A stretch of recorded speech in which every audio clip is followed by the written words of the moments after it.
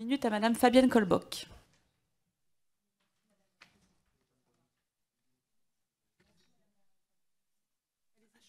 C'est bon.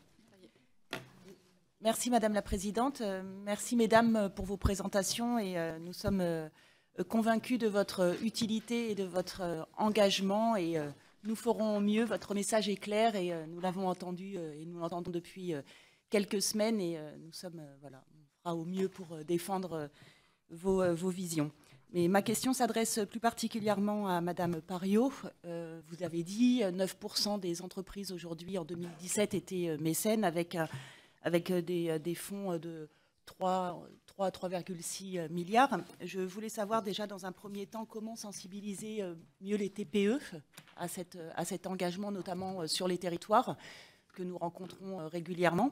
Et puis, il y a une autre mesure aussi sur lequel, enfin un autre amendement sur lequel je voulais avoir votre avis. Beaucoup d'entreprises investissent dans le culturel, notamment déjà pour avoir une visibilité, par générosité, pour avoir une visibilité aussi de leur entreprise, mais aussi pour avoir des contreparties auprès de leurs salariés pour pouvoir aller euh, euh, dans ces manifestations.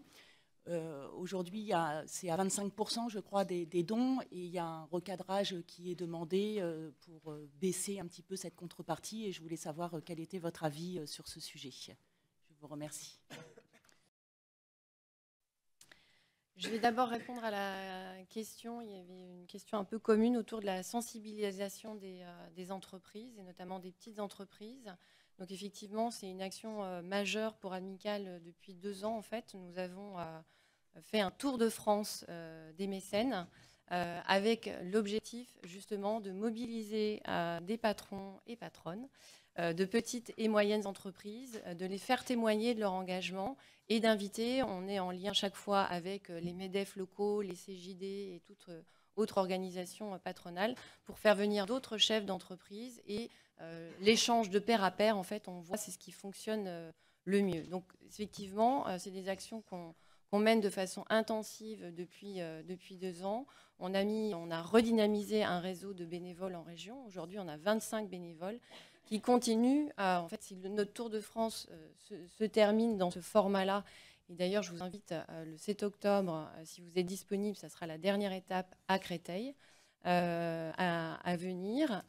mais sous ce format-là, on va donc arrêter ce format étape du Tour de France, mais pour autant poursuivre cette action dans les territoires avec nos bénévoles qui ont donc pour objectif d'animer ces territoires, de faire euh, grandir euh, euh, ces, communautés. Et pour nous, un des leviers majeurs en fait, pour sensibiliser aussi les petites entreprises, bah, déjà, c'est de désinhiber à travers le témoignage, de dire à une petite entreprise, quel que soit le montant du don, enfin, ce n'est pas ça qu'il faut regarder, c'est le geste et, surtout la dynamique dans laquelle en fait, vous vous mettez la dynamique que vous enclenchez. Il y a souvent ce frein-là en fait, hein, quand même chez euh, chez les entrepreneurs. Et on dit souvent que 1000 euh, euros pour une association, euh, moi je suis présidente d'une toute petite association, si demain une entreprise me donnait 1000 euros, je serais super contente.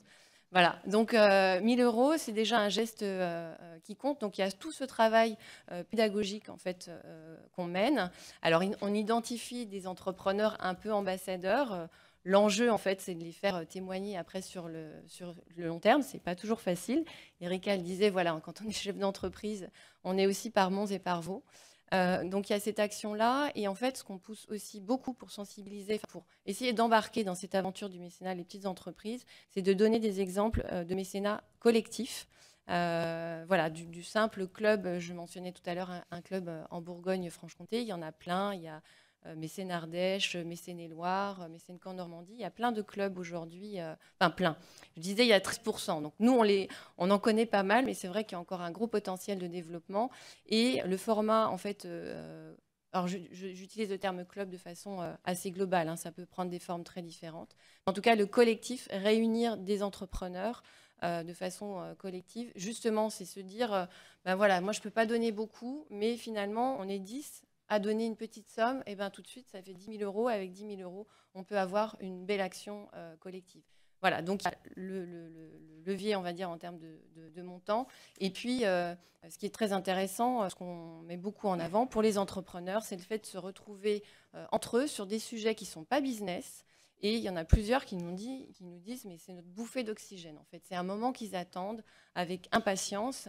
Et ça compte, je pense aussi, dans la vie d'un chef d'entreprise. Et puis, ils sont tous animés par cette volonté de, de partage. Et ceux qui sont, motivés jouent un vrai rôle d'ambassadeur auprès d'autres euh, entrepreneurs. Donc nous, c'est ce qu'on met en avant, c'est ce qu'on valorise et c'est ce qu'on invite euh, à, se, développer. Donc voilà, nous, ce qu'on qu'on fait, et si euh, vous le voulez, on peut aussi vous accompagner. Il y a énormément de ressources sur notre, site internet. En fait, tout, acteur qui veut s'emparer du sujet et contribuer à la sensibilisation des chefs d'entreprise, bien évidemment, on est là pour les, pour les accompagner. Vous aviez posé aussi une question concernant les contreparties. Alors ça, c'est vrai que c'est un, sujet important euh, aussi, qui aujourd'hui euh, n'est pas... Euh, aujourd'hui, c'est, on va dire, nous, on a beaucoup d'interrogations par rapport à cette obligation déclarative. ce qu'il faut savoir, c'est que les contreparties, en fait, sont souvent un, moyen d'échange et de dialogue entre l'entreprise et l'association. Ce qu'on ne cesse de rappeler à l'entreprise, c'est que c'est l'association qui doit être force de proposition par rapport aux contreparties. Il n'est bien évidemment pas question d'imposer des contreparties qui ne sont pas, euh, euh, enfin, qui sont disproportionnées, qui sont compliquées en fait pour, euh, pour l'association. Aujourd'hui, par rapport à l'obligation déclarative, il y a un point qui nous gêne considérablement, qui, qui, vise en fait à mettre en place une usine à gaz. En fait, ce qu'il faut savoir, c'est que euh, les contreparties, déjà, ce n'est pas toutes les entreprises qui les mettent en œuvre, mais pour autant, pour les petites entreprises, c'est quand même un vrai levier euh, qui leur donne envie. Euh, je réponds du coup aussi à la, première question. qui leur donne envie de, faire du mécénat parce que oui, c'est bien de pouvoir inviter ses collaborateurs ou ses clients un spectacle, à une exposition. Et voilà, et c'est fait dans des proportions très modestes. Donc effectivement, c'est maximum 25% de, euh, du montant du don. Donc ça, c'est un, vrai levier aussi euh, pour euh, convaincre les entreprises de faire du mécénat.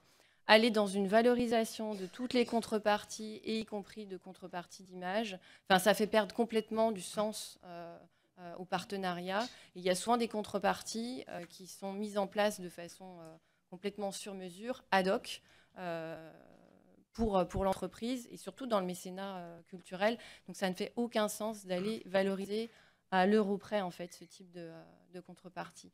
Ce que cherchent les entrepreneurs aussi, ça vous intéressera dans le, dans le domaine culturel, c'est cette rencontre avec l'artiste, avec le processus de création. Et en fait, dans ces contreparties euh, sur mesure, ben, c'est quelque part, en fait, pouvoir rentrer dans, dans les coulisses, dans la magie de cette création-là. Et c'est vrai que c'est une vraie force du mécénat euh, culturel. Et après, aller mettre derrière, en fait, ces rencontres, ces échanges informels qui sont intéressants aussi pour pour les artistes, essayer d'aller mettre des, euros, voilà, ça fait perdre complètement le, sens de, de, cet échange. Donc euh, voilà, sur les contreparties, euh, nous, on pense que c'est un dispositif qu'il faut préserver. Euh, ce qu'il faut savoir, c'est que dans les grandes entreprises, il y a de plus en plus une, une tendance à redistribuer en fait les contreparties. Si je disais que les petites entreprises vont les utiliser pour leurs collaborateurs ou leurs partenaires, les grandes entreprises. Il y a un, exemple que vous connaissez peut-être, parce qu'on en a beaucoup parlé à un moment donné, c'est euh, Emerige euh, avec Versailles, qui en fait, euh, les, enfants en fait, de la, zone de, Versailles, leur, ils leur permettent en fait d'aller visiter le, château de Versailles. C'est des contreparties que Emerige en, contrepartie de son partenariat avec le, château de Versailles. Ils ne les utilisent pas du tout pour eux, c'est complètement redistribué à des associations du territoire. Donc en plus de ça, c'est un double effet euh, d'éducation culturelle et artistique pour des associations. Et c'est vrai que nous, c'est quelque chose qu'on pousse euh, aussi et qui est une tendance qui se développe. Donc Raison pour laquelle, pour nous, euh, sur les, contreparties, c'est une spécificité aussi euh, du mécénat à la française. Et j'ai envie de dire euh, que bah, capitalisons sur nos spécificités plutôt que d'essayer de les faire disparaître.